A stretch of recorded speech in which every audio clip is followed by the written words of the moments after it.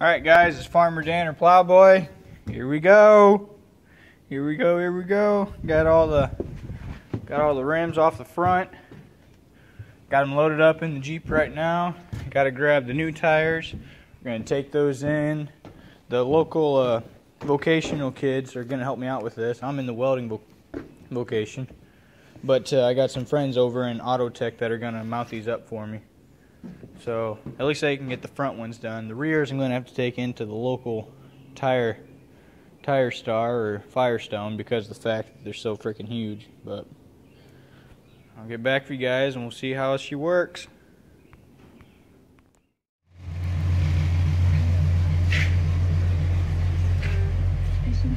And we're off! Woohoo! Hashtag Jeepin'. Hey guys, it's Farmer Dan or Plowboy. Went into town yesterday and went to the local vocational. Had a couple of buddies and they hooked me up with getting my new tires mounted up. And put brand new tubes in them. Everything's all set for the fronts now. Just got to get them mounted up. But I did that yesterday.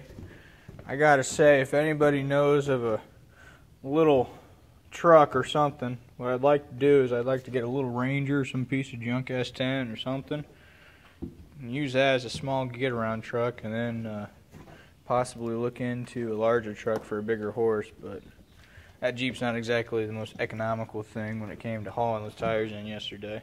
But anyway, they're all set to go. I just got to get them all mounted up and ready. But got that set hopefully, before I go back to school, I can get those suckers mounted up and get those old ones off and start looking for some dual rims. I'm really thinking about trying to get some duals set up on that tractor. I think it'd look cool.